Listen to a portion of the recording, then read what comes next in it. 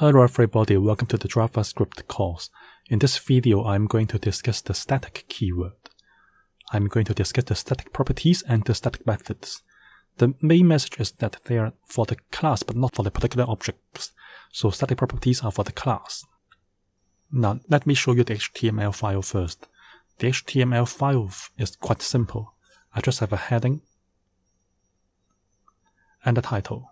Okay, and I'm going to link this HTML file to a JavaScript file called myscript.js.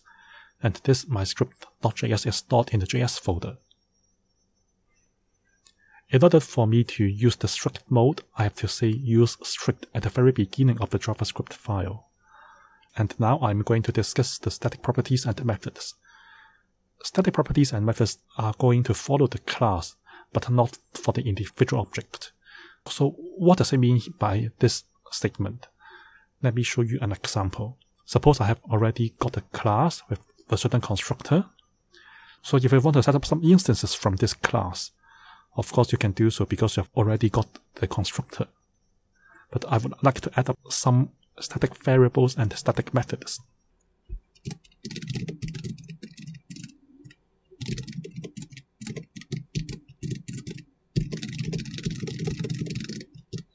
Okay, I set up a static variable called num vehicles, which is initialized at zero. So this is a static variable because I use the static keyword before I declare that variable. I don't use the word let, but I use the word static. So we, we have to understand that the static variable is for the class, but not for a particular object that is created from this class. And I improve my constructor right now. So my intention is to increase the num vehicles by one when I really construct a certain vehicle instance. So when you want to access the static variable, you have to notice that the class name vehicle has to be put before the static variable name. And the two parts are separated by a certain period. So vehicle dot vehicles, class name dot static variable name. Okay, so you can see that when I want to set up a certain vehicle instance, the number of vehicles being set up will be increased by one. That is my intention. And I'm going to set up another static method.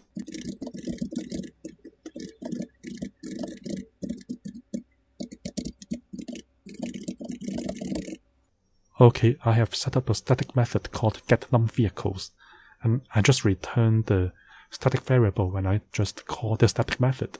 And you can see that I have to say vehicle.num vehicles. That means I use the class name followed by a period and the static variable name. So of course, uh, the static variable is for the class called vehicle, but not for the created by this class. This is a bit abstract, I know that, but I have to make it clear by setting up some examples to you.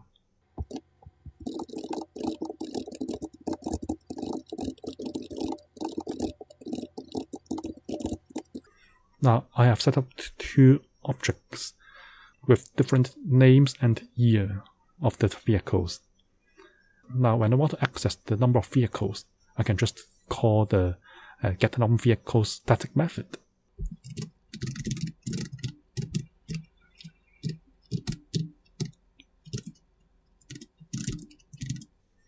Okay, let me save it and reload the page. Yes, you can see number 2 comes out. The, value of 2 is just the number of vehicles that I've set up. So when I set up a certain object, uh, the constructor is able to help me increase the number of vehicles by 1.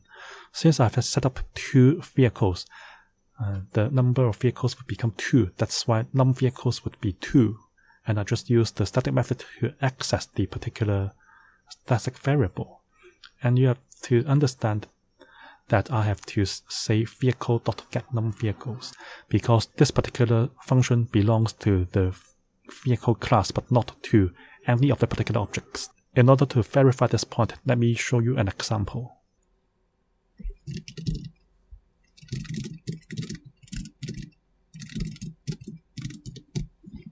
When I want to access the get num vehicles from a certain object, but not from a class, I should have some errors coming out. Save. Reload. Yes, you can see that when I reload the page, I'm not able to see the number of vehicles because I used my bus rather than the class name as the way to call the static method. So you can understand that the static method should be used by a class but not by a certain object coming from the class. So that's why we have to understand that the static methods and variables follow the particular class but not the particular instance. This is the end of the video. If you have any questions about my video, please leave your questions on the comment section below the video. If you like this video, please give me a like and please subscribe to my channel. Thank you for watching.